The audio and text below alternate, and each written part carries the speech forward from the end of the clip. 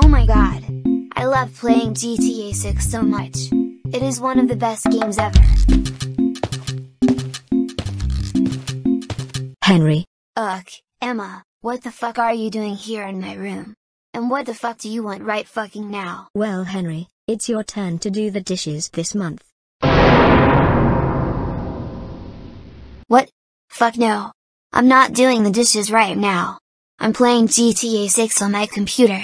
So go do the dishes and leave me the fuck alone. No Henry, you must do what I say because I'm your big sister.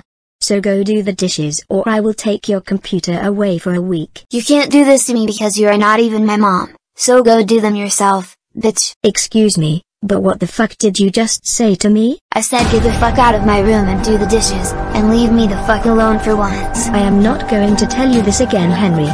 Go do the dishes or I will take your computer away for a week. You know what? That's it. Since you are not going to get out of my room.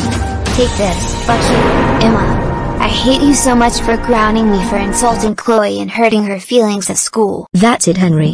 For refusing to do the dishes, cursing at me, and flipping me off. You are now grounded for three weeks.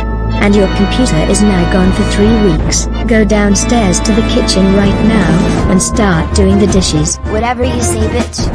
And stop swearing at me, or you will be grounded for a whole month.